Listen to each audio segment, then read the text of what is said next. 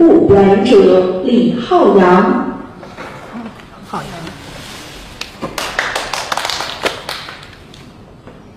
给您换一场。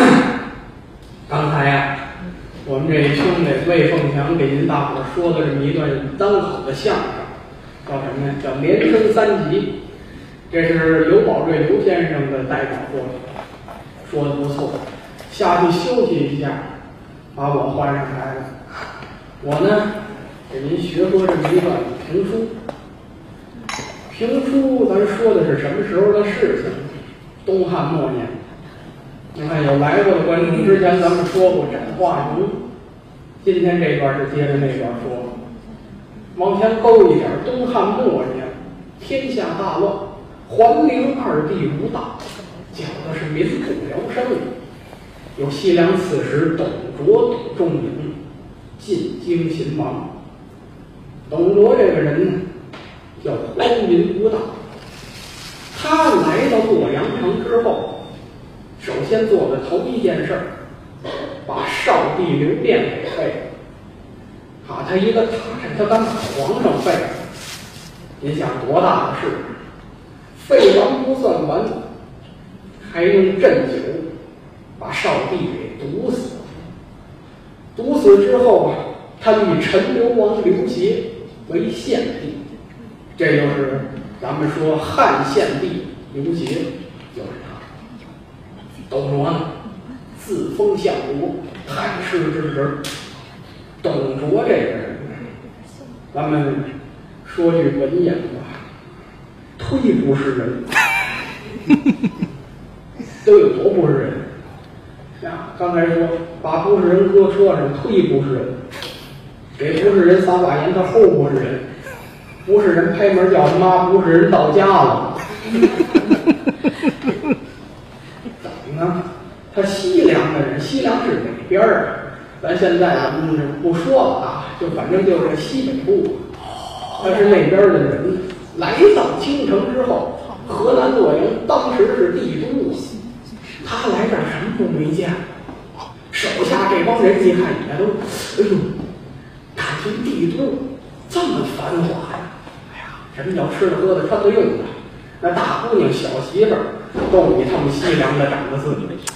你想那边见见天拿风拍着脸上，好点。河南这个地方，那一个个多水灵啊！这帮人呀、就红了眼了，就跟撒了浆的野狗似的，来到洛阳城，叫烧杀抢掠、奸淫妇女。见着这姑娘长得好看，这帮人就给人。奸污了；见着什么东西好，过来就抢。而且呢，还乱杀无辜，每天就在这街上到处的巡逻，说是巡逻，实际上找乐。怎么呢？带着这帮人。马呀，大街上溜，走着走着看哟，这人长得，你看他长得怎么那么别扭？嗯，这他愣有鼻子，谁没鼻子？就因为有鼻子啊，拔出佩剑，就把人给宰了。你就因为你随便杀人吗，没有原因，就是要宰人的。而且董卓呢，见天儿叫夜宿龙床，奸淫宫女。他每天晚上他跟皇上那床上睡，哎，在皇宫里边看哪宫女长得不错呀，拉过来就让人侍寝。对上朝廷里边百官，没有人敢去声讨董卓，为什么呀？人马多二一节，他有一员得力的大将，谁呀？干儿子温侯吕布，吕奉先。您各位都小时候咱们都知道啊，什么一吕二赵三典韦四关五马六张飞，这三国这武力排行啊，吕布第一。勇勇冠三军的，没人敢反他。老百姓们都服了，百姓们恨不得是食其肉，寝其皮。什么意思？一口一口把董卓咬死，把他这皮扒下来当被子盖都不解恨。这样才有咱们前文书说十八镇诸侯联盟讨伐董卓。十八镇诸侯啊，总督盟主就是袁绍、袁本初。袁本初啊，带着这帮人马头一站打哪儿啊？兵发泗水关。到泗水关这儿算了，为什么？泗水关守将华雄太厉害了，前不正印孙坚、孙文台被华雄打败了。打败之后，连派了好几员战将去会战华雄，没一个人活着回来。最后有关羽、关云长请令出征。咱可说清楚，关羽啊，这会儿他不是将军，他是什么职位？叫马弓手。什么意思？县衙门里边马队的头头，按咱们现在话说，就是一保安队长啊。这十八镇诸侯都是什么？那都是省长以上的干部，让华雄给杀的跟谢瓜似的，得让这么一保安队长去打华雄。结果关羽真露脸了呀，交马一喝，刀斩华雄。回来之后啊，自己提着人头啊，回到帐中往这儿一站，好家伙，大伙儿一看哟。这么厉害，这马弓手行啊！哎呀，袁绍也说：“哎呦，他这么厉害！”正跟这儿想呢，旁边有一个人可坐不住，谁呀？三将军张飞、张翼德。张翼德一看自己二哥提着人头回来，好家伙，那是又蹦又跳，又说又笑。张飞呢，指葫芦大嗓门啊！哎，我说你们看啊，我二哥刀斩华雄，你们还不赶紧远二哥贺功吗？这一声喊，十八镇诸侯大伙脸上都挂不住了。怎么我们不行啊？让这么一个小卒出战，回来之后本来脸就挂不住，今儿好家伙，您还给他量着。您还给他宣传，大伙儿这火一下就顶上来了。这会儿有一个人不高兴了，一拍这案，咚！好大胆，两区区小卒竟敢咆哮大帐，虎斑真何在？炸！哎，与我乱棍打出！谁呀？袁绍秦帝袁术，袁公路，袁公路。比他哥哥这人性还次。咱前面说，孙坚、孙文台先打泗水关，为什么败？就因为袁术不给人发粮。为什么呀？他怕孙坚把泗水关拿下来之后，这叫头一件战功，他怕人家抢这功劳，给人使坏。有这么句话，咱们都知道啊。不怕神一样的对手，就怕猪一样的队友啊！你队友给你使棒子，这好得了。今儿也是，今儿袁术本来想着就不打了吧？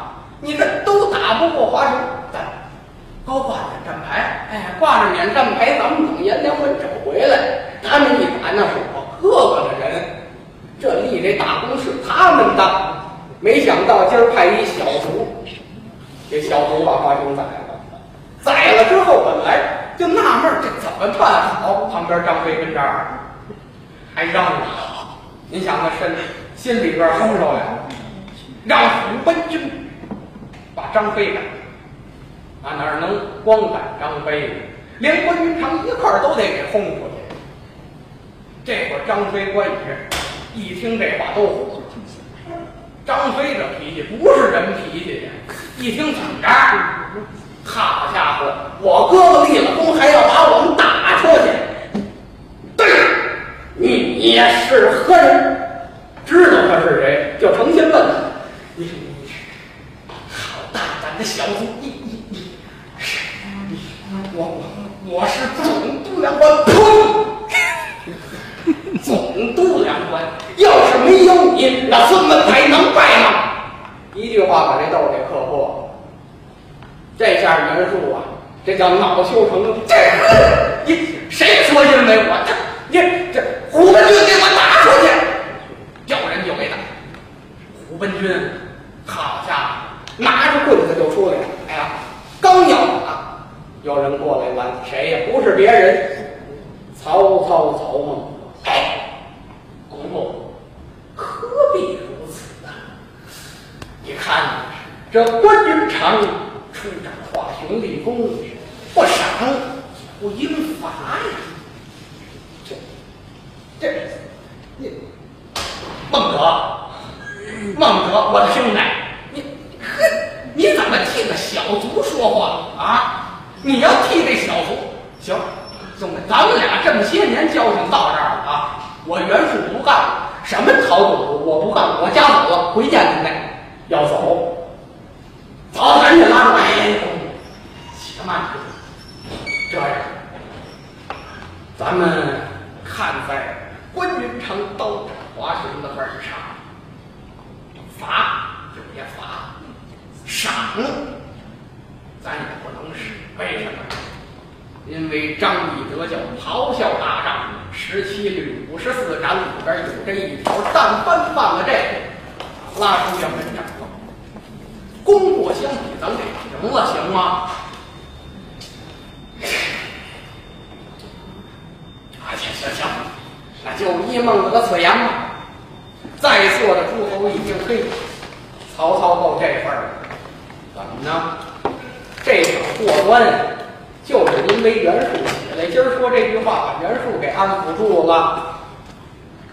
曹操啊，回过头来又对关羽、张飞、刘备说：“三位，这样，今天晚上我在我的大帐设宴，与三位贺功。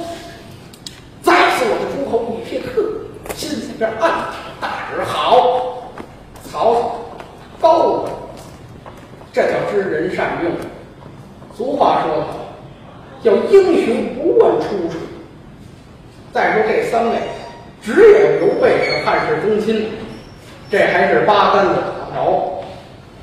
这关云长卖枣的，张飞杀猪的，不问出处，还能款待他们，委以重任。曹孟德头份儿！十八镇诸侯这儿，咱们按心不说，再说泗水关。泗水关的藏兵败将，败回关里边，关里还有一人，谁呀？叫李肃。这李肃是谁？董卓手下的一名谋士。李肃干了什么大事儿？有什么功劳呢？有一件，唯独一件功劳，叫什么呀？馈金珠。李肃说吕布，是李肃把吕布给招到董卓麾下，可就这么一件事儿。李肃接着战报一看，啊，华雄死了！哎呀，当时他跟太师面前讨令的时候，自信满满，这他死了，我怎么办呀？赶紧传下一令，他们由请加急回报到洛阳，给太师送信儿，赶紧派人呐！有手底下人快马如飞，来到洛阳城送信儿。洛阳城里边，董卓干什么呢？白天喝，晚上跳。董卓也会跳舞，他不会跳，他看什么跳？坐在这龙书案上。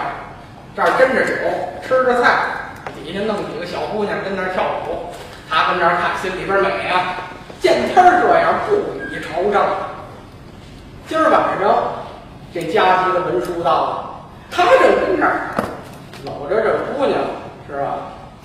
玩儿呢。接着这么一账报拿过来一看，啊，华雄被斩。这账报上写的清楚，华雄被一赤面长髯使青龙刀坐下红标马的战将，将马一合，扎领军阵前。华雄是董卓手下除了吕布最勇的人，他被宰了，这这泗水奔眼看就要失守，这怎么办呢？看着这封战表，他也没心思玩了。把怀里边这俩姑娘往外一推，叫来了一个人去传令下去，把李学、郭汜、张继、樊稠，还有李儒跟我儿子都给我找来。不多一时，这几个人都过来了。董卓呀，把这宴席都撤了，往这桌案上一坐。这帮人来了，拿着这战表往下一扔，看看吧。大伙儿都不知道怎么回事儿，心说这怎么了？这喝酒没喝舒服了？谁也都害怕。为什么？董卓他不是人脾气呀，你不知道怎么着他就把你宰了啊。只有李儒炸着胆子往前走了几步，拿这战表打开一看，哎呀，汗就下。大伙儿呢，一看李儒，你这什么反应？你看见什么了？吕布过来一把夺过战表，嗯。没当回事儿，为什么？他有啊！吕布、吕奉先不怕这个，谁宰了都没关系。我一去准保他宰了。这这这这这几员将传阅一遍，董卓坐在帅案之后念：“你们说怎么办啊？这怎么办？眼看他们就打到洛阳城，如何是好？”大伙儿心里边都不敢说，心说您您要打过来，那那就打呗，没别办法。但这会儿说打，准保董卓就对打谁不知道，怎么能打呀？人家十八镇诸侯多少人马？我这儿才多少人呢？大伙儿你看看我，我看看你，还是走上前去。我我有一计，合计？是这样，您看，现在泗水关没有人镇守，咱们首先先得守住泗水关。为什么呀？因为泗水关是洛阳唯一的出路，没有泗只能跟洛阳城死。你得先派人守住泗水关，然后。只能是您御驾亲征，这可是大逆不道的。御驾亲征那是皇上说的，今儿李儒跟董卓这么一说，董卓心里边爱听了，这火顿时就没了。啊，董卓没心没肺啊！那以你之言，就要本太师亲自出征了。我操！您先派人去镇守泗水关，然后。您带大的人马亲征王关，好，来传令下去，派刚说的派，李如意来，太上，还有一件大事，和尚，现在洛阳城中有一个人，您必须先得宰了，谁呀？就是袁绍袁本初的叔叔袁奎。袁奎，这袁奎在朝里边那是太尉之职。他这侄子袁绍袁本初，但凡他要打到洛阳城，要里应外合，咱们不就完了吗？对。那我这就传令下去，把袁奎宰了。光宰他一个人可不行啊！依你之见，一家三百多口，刀刀插进，要把人一家三百多口全给宰了。董卓一听，行啊。这绝户主意也就你出得出来啊！啊，您出这主意也不怕生孩子没点儿。那我媳妇儿不是您闺女吗？这是实话啊。李如是他的姑爷。行，就喜欢你这样。来，李觉郭四听令，在，命你们带五百刀子手，现在就去包围元府，把他们刀刀斩尽，是任斩诛绝。答应。李觉郭汜带着刀子马，还带着自己的干儿子吕布吕奉先跟自己这姑爷李儒，是浩浩荡荡兵发老。十八镇诸侯这儿，袁绍也接着报，说自己亲叔叔让董卓全给宰了，一家没一个活的。闻报之后，袁绍是大我这也是怎么呢？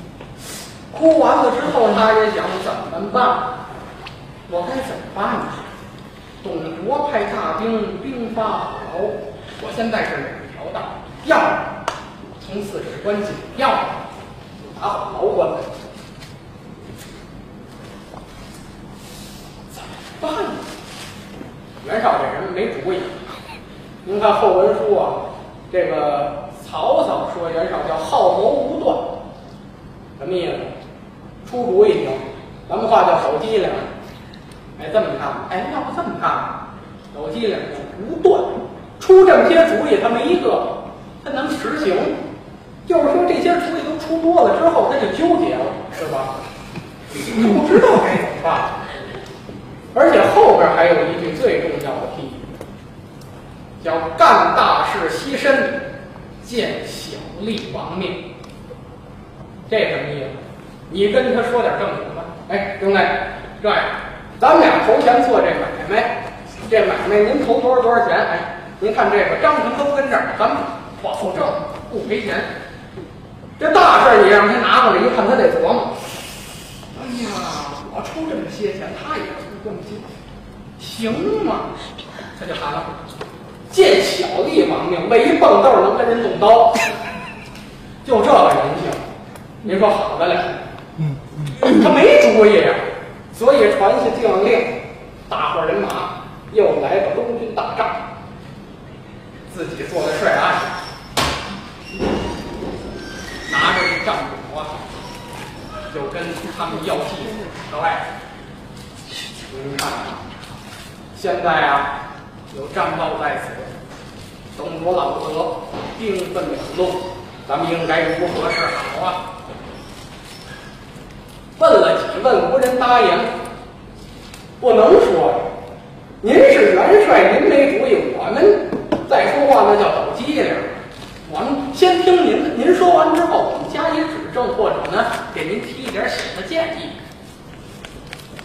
其实袁绍没主意，所以才求大事。一问两问，无人答言，还得是找曹孟德。孟德，你一看应该如何呀？曹操接着一看，一拢下长掌。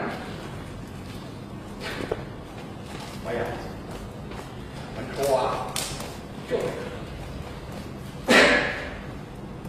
这个董卓不是兵分两路，咱们也兵分两路。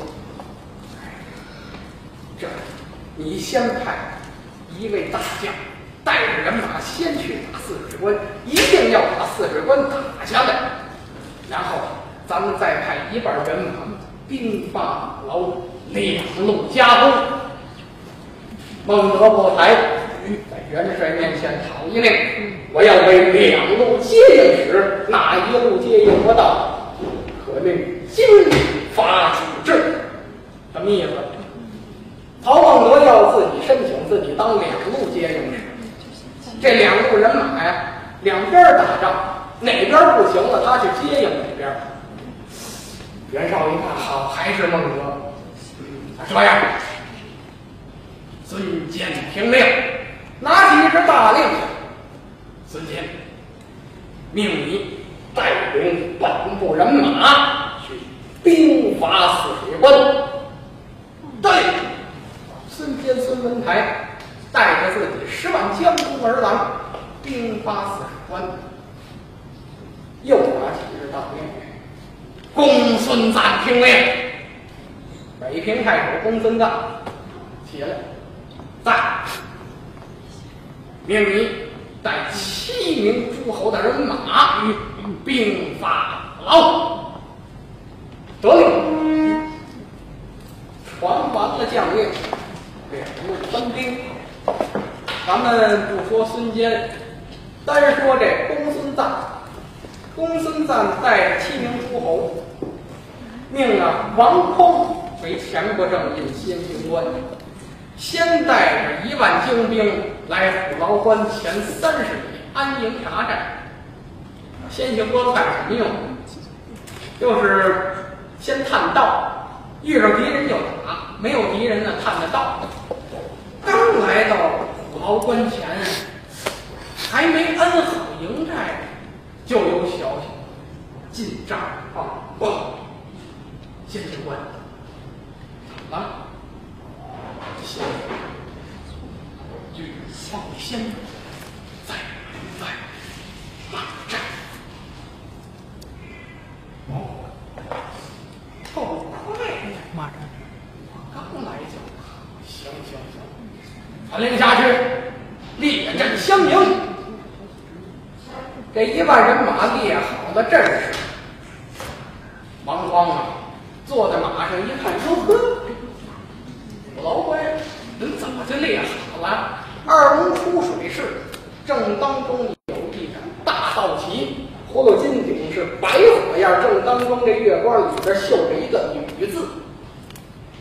自己这边是一字长蛇阵，这边是二龙出水阵，就在这坐都旗底下，有一员战将叫岳武扬威。哎呀，叫过来一个小将，这人是谁呀？他就是温侯吕布。哎呀，就见吕布啊，上边带着一顶三叉紫金束马冠，雉子翎微微颤看面包，少年的英俊芙蓉面，红战袍那是穿锦缎，上绣着百花针鲜艳，亮银铠龙鳞片，吞口的兽面是挂灵环，十万弹在腰中悬，掐紧鞭走金线，镶嵌八虎朝东剑，宝雕弓湖中剑，胯下赤兔牵着马，登山涉水如闪电，手使画板封天戟，是令人心惊魂魄散。好，好。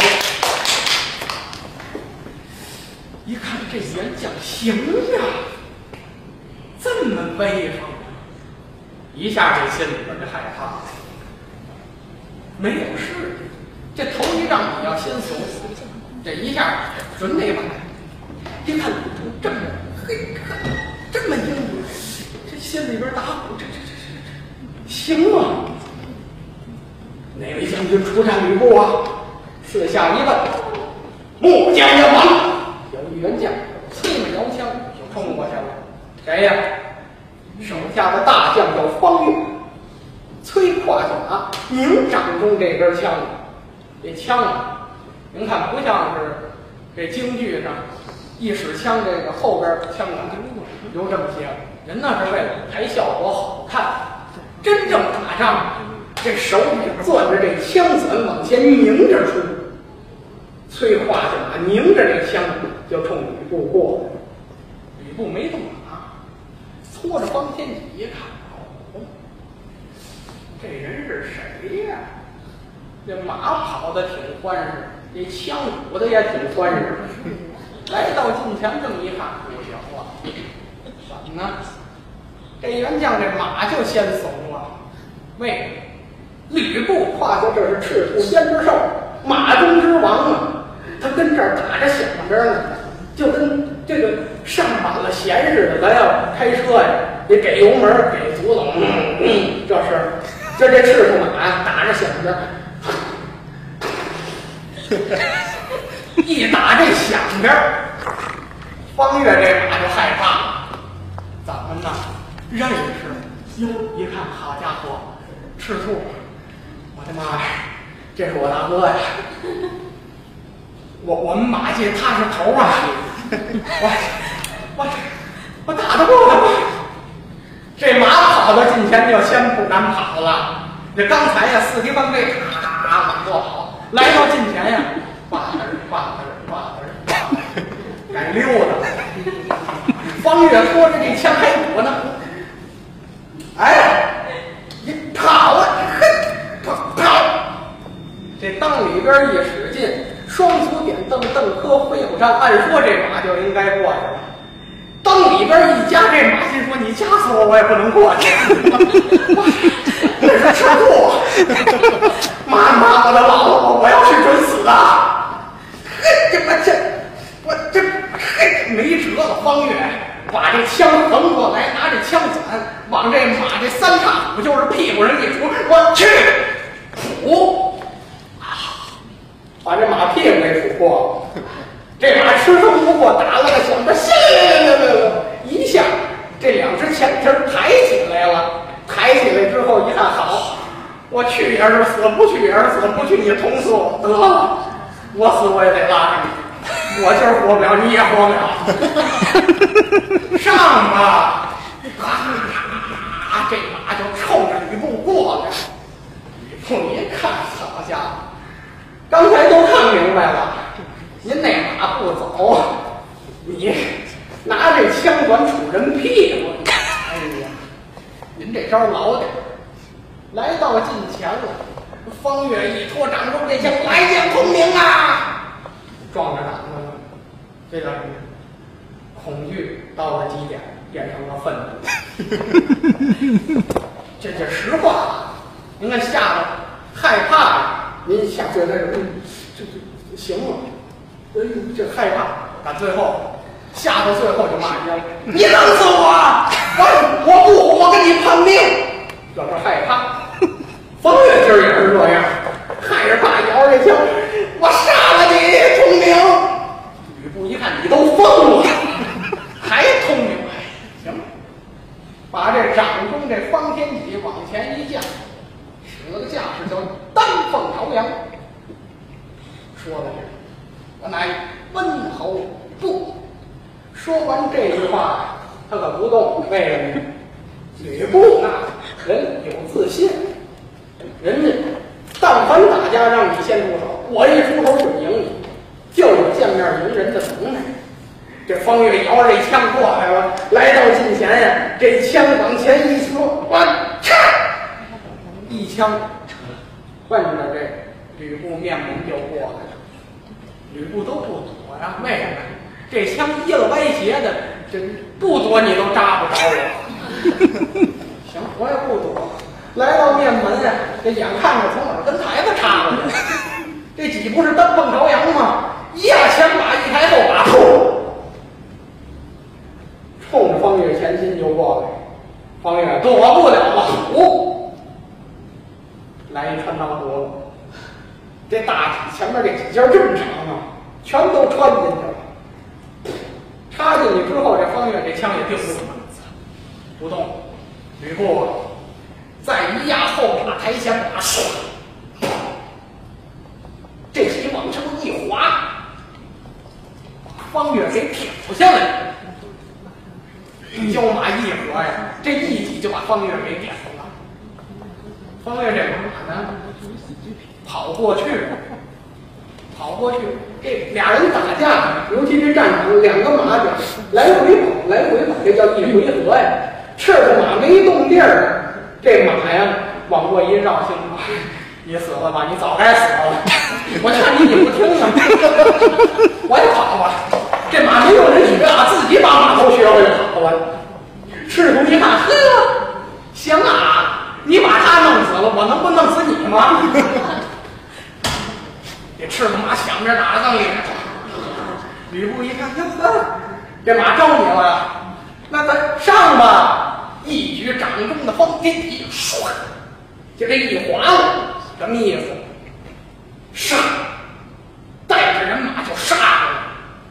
好家伙，王匡啊，看一满眼啊，跟这边一看，好家伙，方月交马一合，让吕布给挑下来了。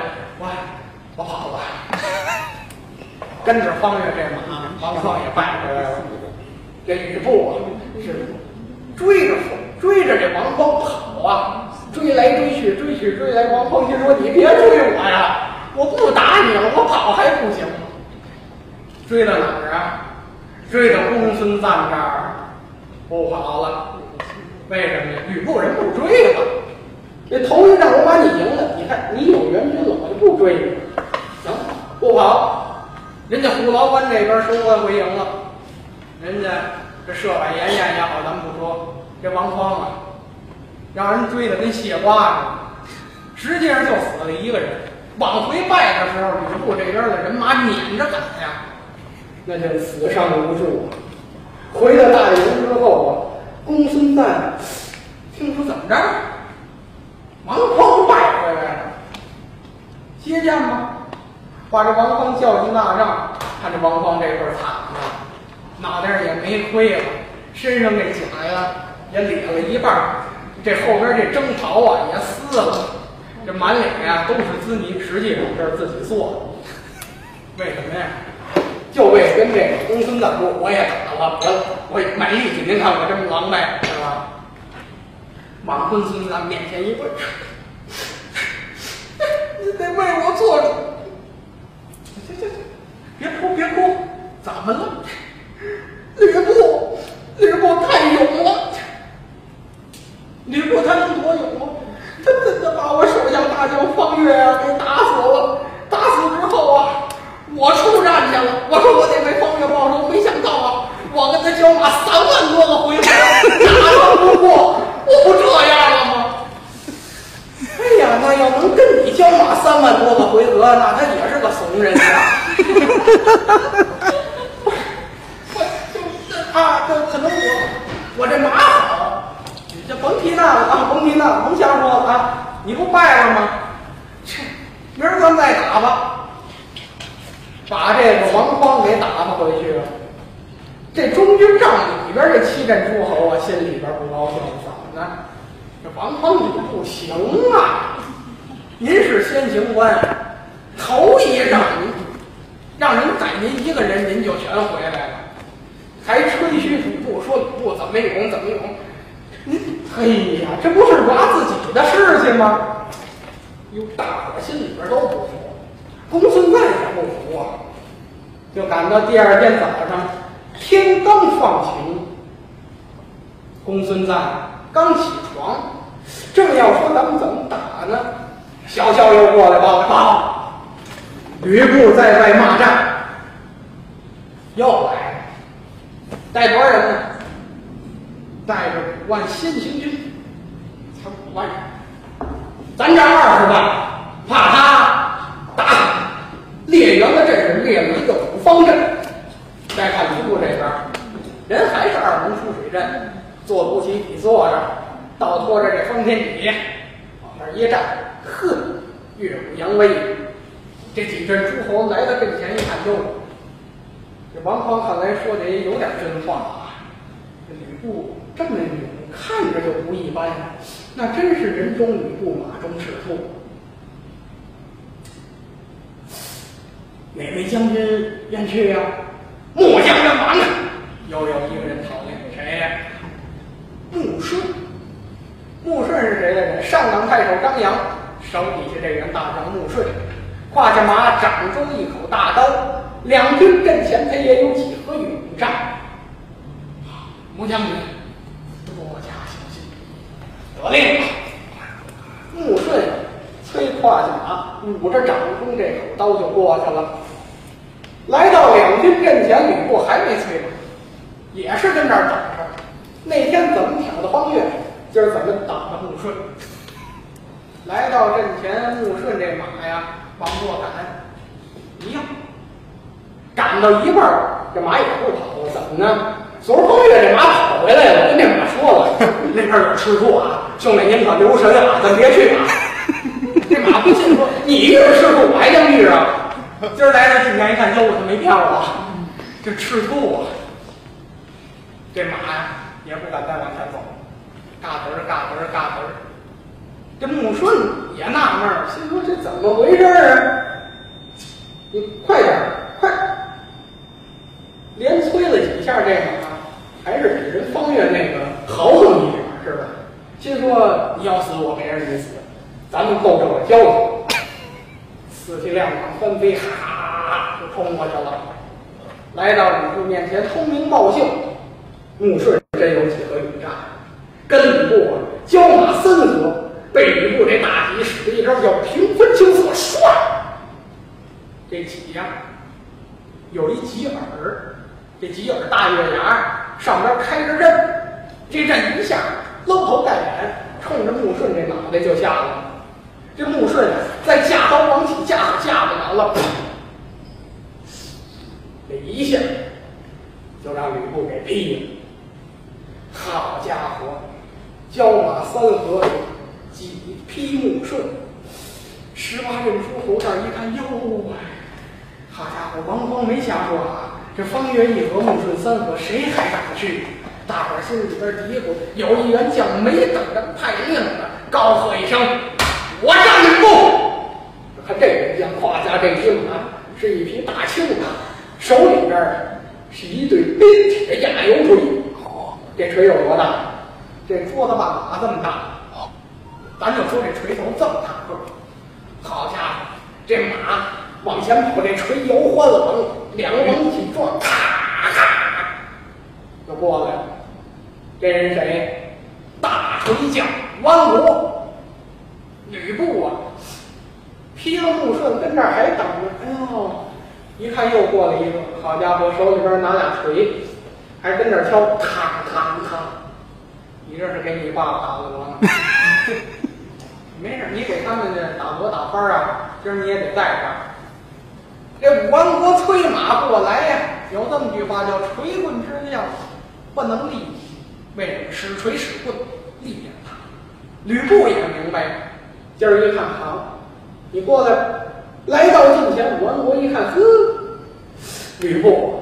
你特意的小看我，我来到近前了，你催马呀？你你催马呀？你还不催？不催，他可跑到近前了。一看你不催，我打死你！